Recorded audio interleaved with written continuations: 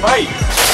Today we're going to make um, small pieces out of big pieces. When uh, the people from Tech Week, uh, Technically Philly, came and asked us if we were interested, we said yeah. We had been thinking of doing an event like this for a long time, and it seemed like a really good fit. So we have uh, printers that um, kind of don't have a life to live any longer. They've been given to us to recycle, and we have two choices. One is we can send them to a commercial recycler. The other is we can break them up into small pieces and the, actually get more money for them. The printer smash, the main point is to help NTR recycle printers, um, but we also take a lot of the parts and use them in our classes. We have an electronic jewelry class.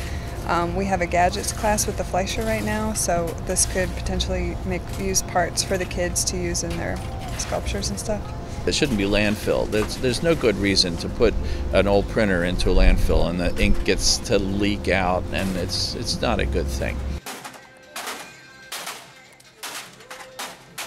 There's so many useful products, even with artwork, that I've seen jewelry made out of some of the motherboards and some of the other little components that you can use. You can really see like the parts flying everywhere. And you take a few smashes here, a few smashes there, you make a couple dents, but the really satisfying part is when you just take one dent and then all of a sudden something went flying all over the place. Some of some of them it's really best to use a screwdriver and you take them apart slowly and in some of them it's easier to just hit them with a hammer.